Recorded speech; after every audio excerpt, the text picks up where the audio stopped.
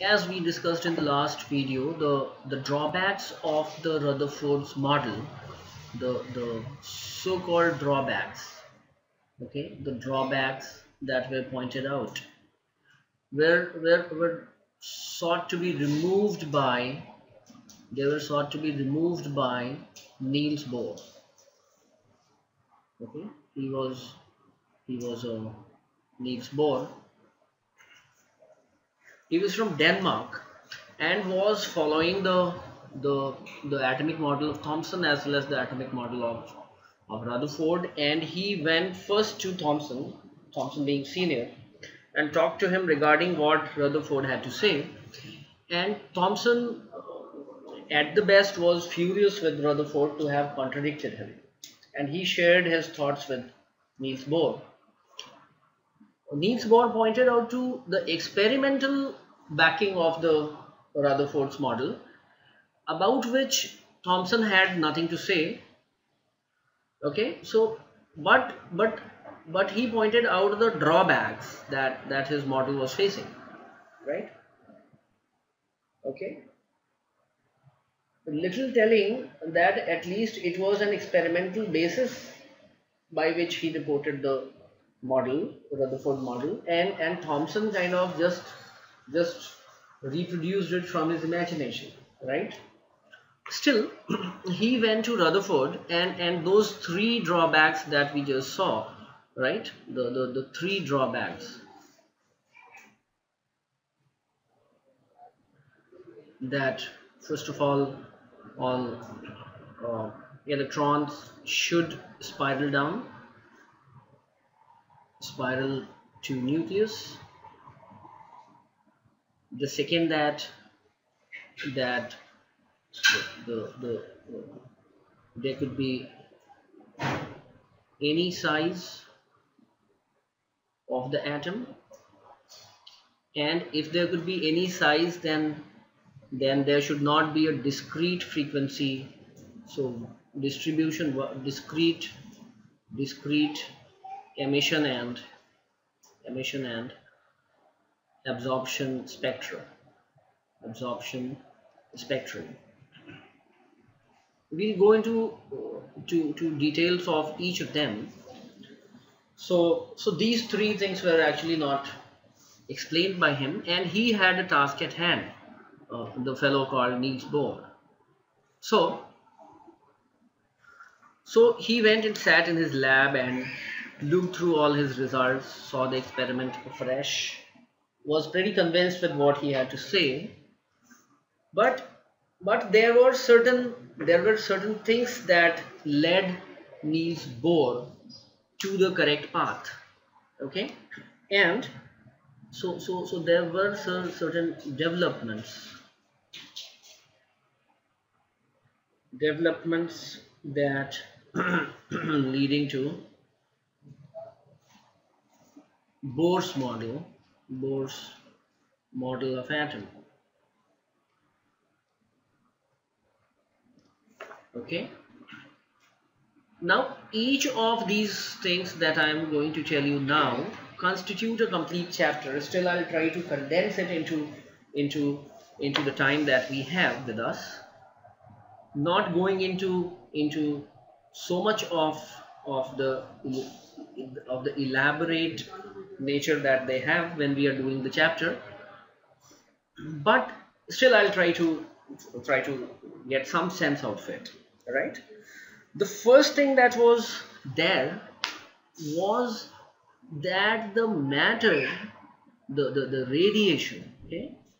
The, the the the radiation had a dual nature. So so dual nature of of radiation okay? Let me go back a little on this. In, Newton's time in Newton's time the and, and Newton's did a lot of work on optics. So in, in Newton's time the, the the light was considered as a particle. Light considered a, a particle. Considered a, a particle. Okay? It was considered a particle fine.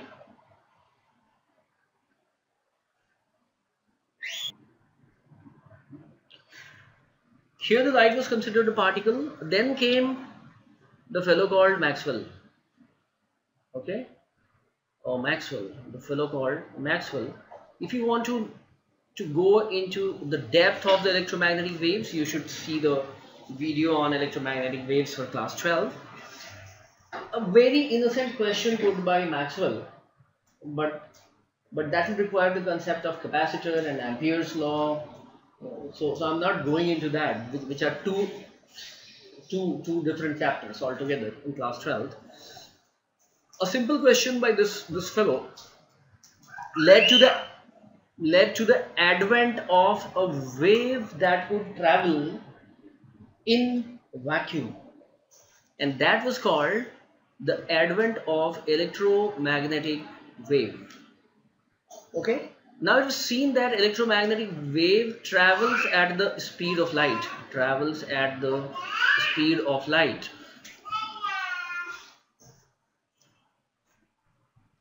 It travels at the speed of light. It was the advent of EMW and it was found that somehow the electromagnetic waves travel at the speed of light. These waves travel at the speed of light. Now, now the question was why at the speed of light?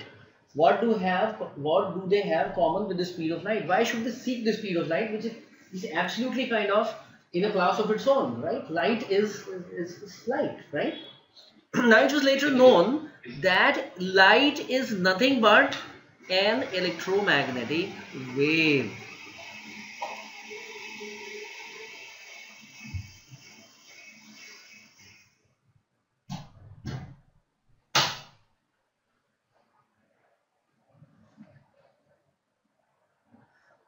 Now that led to the fusion of electricity. Electricity that was already related with magnetism. Okay? That was already related with magnetism. That you have studied that that a current carrying wire if you if you uh, try to arrange iron filings around it, it it kind of makes a circular pattern. That we know magnetism became related with electricity by the thing called EMI the the the okay? So so let me put a star. This is this star actually signifies what? It is called Faraday's Faraday's law of electromagnetic induction of electromagnetic induction the thing that I that, that I briefly told you in the last video that that a changing magnetic field had the capacity to create an electric field and hence a hence a current right? And and together they led to to electromagnetic waves.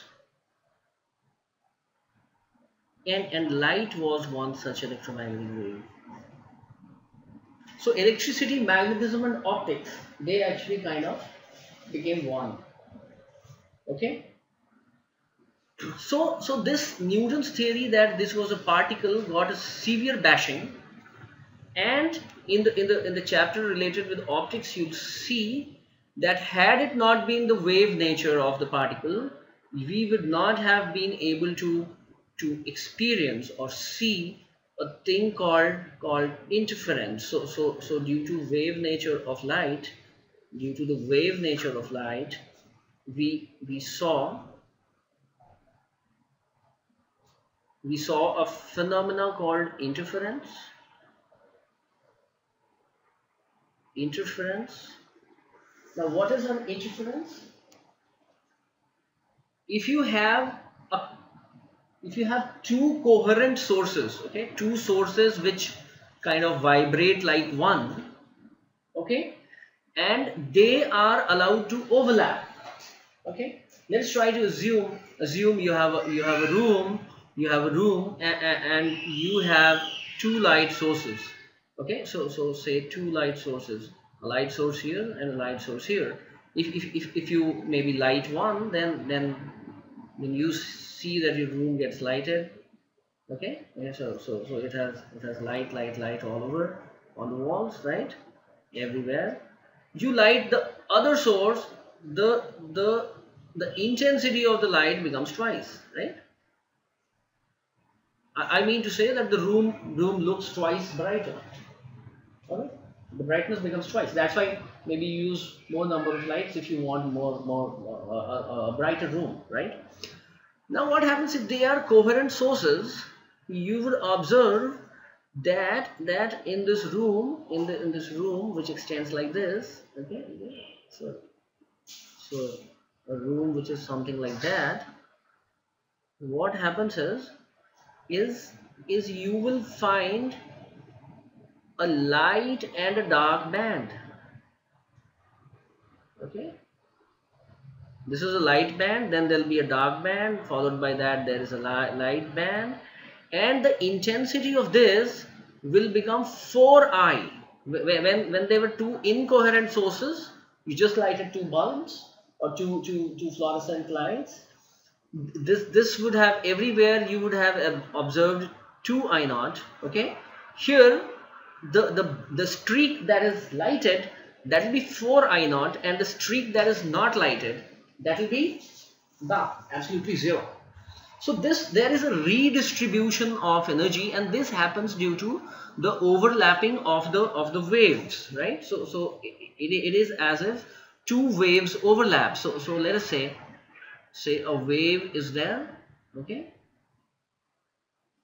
There is another source this also travels to this point. Say they travel to the to, to this point and what happens if if the trough if, if the crest of this kind of superimposes with the crest of this you understand? What is happening? We have a sinusoidal wave. Okay? Now if there are two waves we say they superimpose. If there is another wave then they'll superimpose. At every point of time the total displacement from the center will be the resultant of the two displacements. If you if you if you set two waves in the same medium with the same frequency right? Then then this will happen. Now what happens if there are two waves in the same medium the resultant is that. So so suppose the, the the the crest of this the highest point is called the crest that meets with the crest of the other wave. This is called amplitude. A if the crest falls with the crest so so so there is another wave which is exactly like this and they superimpose. Okay? They are are together traveling in the same medium then what happens? The resultant wave that you get the the, the resultant that you get due to both of them that will have a a a that will have maybe maybe I'll erase this. That will have that will have a, that will have an amplitude an, an amplitude that is twice the amplitude of the individual waves. And you'll soon see that that intensity is directly proportional to amplitude square. So so here that the intensity i naught was i naught. Okay? Here it was i naught. And they summed and an individual was i naught. Together it became the amplitude became twice so the intensity becomes 2a whole square right? This this is instead of a it has become 2a so that's why intensity here becomes 4i naught okay? But mind it there is a redistribution of energy. Some 2i naught has vanished from this dark patch and it has got got got onto that 2i naught another 2i naught and that's why this becomes 4i naught while this becomes 0 so instead of a uniform distribution you will have patches okay? A, very bright patch of, of four, four times the intensity and then a dark one and then a bright one and then a dark one. Whenever that is happening that is called an interference. And whenever there is an interference you can be pretty sure that whatever is is interfering is, is superimposing is of wave nature okay so inevitably interference is used as a measure of the wave nature of anything. So either it will be having an interference due to the wave nature or it may be having diffraction okay? It may be having a diffraction. Diffraction is nothing but interference due to a large number of sources okay? So so consider it nothing but a diffraction okay? And when you go by the wave nature of light then only you will be able to prove a famous law of refraction that you call call call Snell's law. Okay? It can be only proved by by the wave nature of light and secondly the law of refraction. The law of refraction why light obliquely incident on a surface undergoes a refraction at all? Why should it bend towards the normal towards the normal when going from a rarer to a denser media and and away from the normal when going from a denser to a rarer medium that whole explanation cannot be done by the by the by the by the particle nature of light. This is only possible by the wave nature of light right? Also also the very fact that that light changes speed as it changes media light changes speed as it goes from one medium to another as it goes from from one medium to another. Earlier in the time of Newton it was thought that light does not change speed. Now now later I, will be able to show you that if, if light does not change speed then it will not refract. It will not change its direction. Okay and if it does not change its direction then then this also won't hold. Okay? This won't hold. So the whole gamut of this this light uh, properties they they actually derive from the wave nature of light. So we saw that we were we were previously with with the with the with the particle nature of light and then we came to the wave nature of light okay? Wave nature and and we'll see in the next or next to next video that that when it was when light started interacting with matter matter we had to swing back to the particle nature of light to explain certain phenomena which Einstein did very successfully and got a Nobel Prize for that. Okay so, so it keeps on. So, so, so from particle to it swung to wave. So many things like these were explained by, by the phenomena of wave. And then when, when one of the things came, came to light, the, the photoelectric effect, we had to swing back to the particle nature of light. So, so what, what, what actually helped him was this dual nature of radiation. That's why I'm calling it dual nature, the, the particle as well as the wave. This is called called wave particle duality of light right? This is called the dual nature of light. It seems to be behaving behaving like a wave at one time and and like a particle at some other time. So dual nature of light. Okay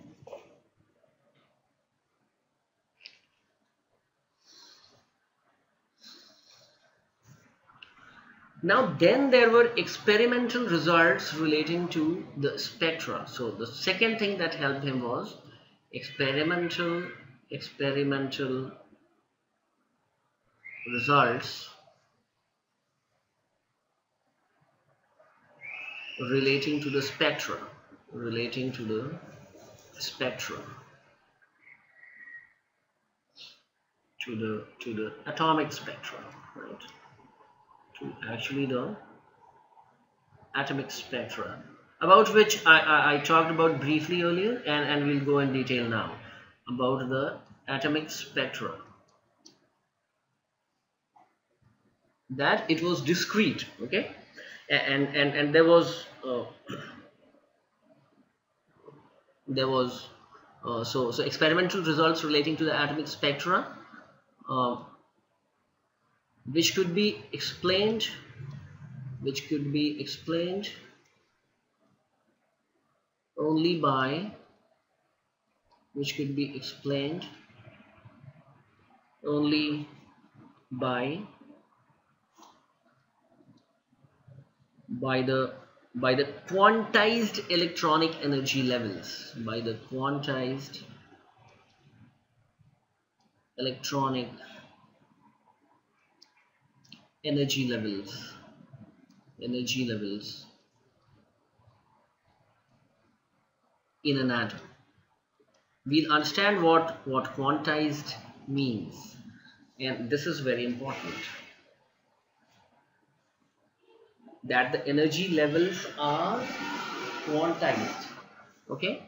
Quantized quanta actually means a packet. Okay? Quanta implies a packet okay? So so when you say something is quantized say so you go to a shop and and and, and you get sugar in packets that are packed with 0.5 kg of sugar. Okay? So so what is the amount of sugar that you can pick? You can you can only pick 0.5 m kg of sugar so even if you want say say 100 grams that is 0.1 kg of sugar you will have to pick 0.5 at least right? So there is no continuous variation. So what happens? It jumps right? So so so so so from 0 it'll it'll jump to 0.5 correct? And from there it will jump to 1.0 from there it will jump to 1.5 understand? There are no levels in between you move in packets. Okay? So these two things helped him explain the nature of of, of the atom and explain and, and throw light on what happened to the to the wave nature of the uh, what what happened to the Rutherford's uh, atomic model right? Okay? So that we do next